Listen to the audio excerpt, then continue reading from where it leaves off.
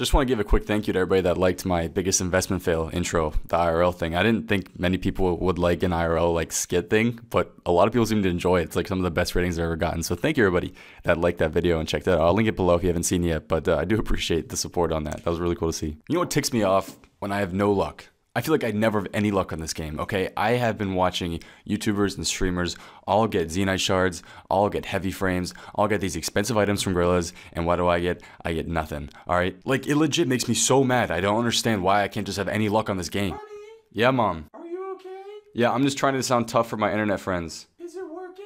Yeah, I think it's working. a couple of videos ago, I made a loot from 100 demonic gorillas, and I promised you guys that when I got a demonic gorillas task, or in this case a black demons task, I would go ahead and go back and record all the loot and see what I got. You can obviously use the slayer helm when doing a black demon task here, and it means you do more damage to them, which is really convenient because you kill them a lot faster. It's also better because they added a new single way area, so single combat area, so it's a lot faster to kill them, and you don't have like three or four on you at a time, which means you have to leave like faster. Usually, you can always do 15 or more kills a trip now. It took me, I think, like four hours total to kill 223 or so. It might be a little bit more, four to five. Sounds about right.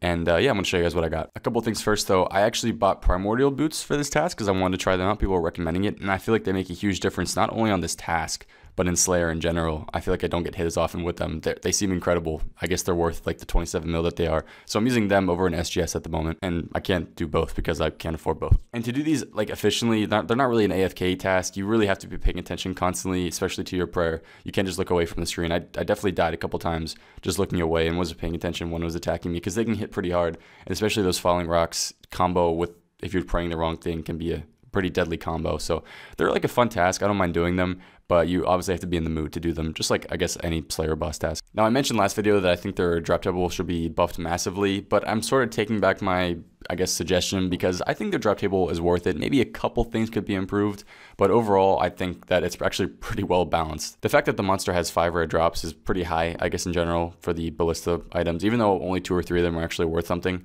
But at the end of the day, I feel like that's worth it. Now here are the regular drops from 223 demonic gorillas. Now you're seeing 10 mil here, which obviously looks incredible. That means that each demonic gorilla kill is averaging like 45,000 GP per kill, which is really good.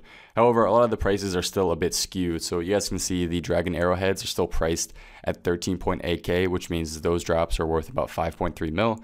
And then the rune arrowheads are bit more expensive. Their price is a bit more accurate, but still not totally accurate. So I had to go ahead and check the RS Buddy price to see what they're selling for. And then I took out the amount of dragon arrowheads that would make sense. I guess that's more accurate. So I took out 350 of the dragon arrowheads and 130 of the rune arrowheads. And really only 450k's worth of dragon arrowheads and 400k's worth of rune arrows heads. So obviously it drops the total guide price down by half pretty much. So it's actually about 5.1 mil for all of those kills, which is still averaging about 23, 24,000 GP per demonic gorilla kill, which is actually a bit more than a wyvern skill, but obviously they take a lot more effort to kill and a lot more supplies, I guess. Now, that is not including the three rare drops I got. The three rare drops I got in this case were uh, another pair of the light frames, uh, runite limbs, and then the ballista spring. So I have gotten every drop but the Zenyte shard and the heavy frame, which are the expensive ones, which just really, oh man, I, I don't understand. I have no luck in this game. I've killed like 9,000 wyverns, no draconic visage. I just, I mean, I got a Kraken pet. Wow, woo. I got the, I got the most common pet, you know, whoop de doo. Then again, I don't do that much bossing, so I shouldn't expect a pet, but in the future, in the future. So obviously the guide price is still wrong. If this was 13.8, imagine imagine these were actually worth 13.8 mil, and imagine that the dragon arrowheads or the dragon yeah the dragon arrowhead or dragon javelin tips Dragon Javelin heads, there we go, were actually worth uh, what they were. That means I would have made like 28 mil off this task, or not 28 mil, 23 mil, almost 24 mil off this task, which would have been incredible. But at the end of the day, these are only going to sell for like 200k or so around that. Maybe they'll go up in a bit, but I'm actually keeping these in a tab because I don't want to sell this tab yet. What I'm going to do is I'm going to do these until I get a Zenyte shard or until I get a heavy frame, but I'm only going to do them when I get them in a Slayer task because I feel like that's really when it's worth it for me. They, they could be decent money, they actually are decent money off Slayer Task, but for me, I personally want to do them on Slayer Task. So I'm getting that Slayer XP, and then I'm also, you know, getting the extra boost from my Slayer Helm, and then I feel like it'd just be worth it in general. But I feel like it's gonna happen. Everybody's getting it but me, but maybe one day. So one quick last thing before I end the video, totally off topic. I have been talking with a lot of my friends, and I'm thinking about going to RuneFest this year, but not through IRL money, but through bonds. You can actually pay with it through bonds. Now I'm thinking of going with like Framed, Kevin, and then a couple of my other friends, Jerry and Owen.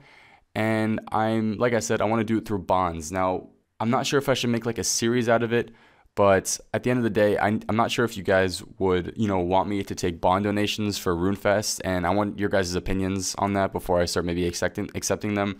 Would you guys mind if I accept bond donations so I can get to RuneFest? And uh, it's, I think, total bonds it ranges from 100 to 300. It really depends on where you're flying out from and stuff like that. So let me know what you guys think. If, if you guys wouldn't would want me to earn it on my own, or if you guys wouldn't mind if I accept the bond donations from from random people, because I, I want you guys' opinions before all these people are saying, "Whoa, Soup's accepting bond donations. What a scumbag." But uh, anyways, yeah, thank you all for watching. Sorry to make that a little bit longer than usual. Anyways, thank you all for watching. I said anyways already. Thank you for watching. Hope to see you next time. Have a good one and peace.